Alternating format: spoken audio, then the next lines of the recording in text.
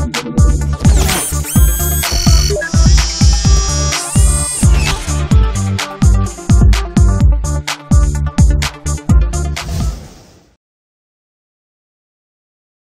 guys, welcome back and in this video I want to go ahead and share with you guys a fix that I've been using uh, for a problem that I've been facing with GTA 5. So as you can see whenever I try to launch GTA 5 it has been crashing and this has been happening since day one and regardless of what I do it's been crashing. I mean even if I tried running it as administrator or running the launcher or the game separately it crashed. So uh, in order to fix this problem what you're going to have to do is go ahead and firstly launch up your uh, device manager and from there you're going to have to disable your uh,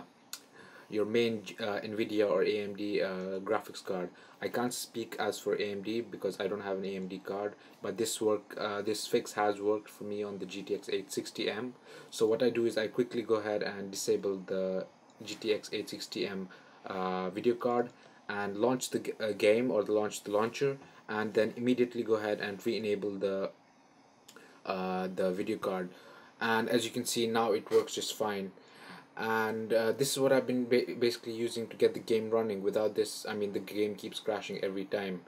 And you have to make sure that as soon as you launch it you have to give it one or two seconds uh, for the process of the launcher to start running. And then you have to go ahead and re-enable your GTX 860 or whichever video card you have. And if you do it correctly it should work for you guys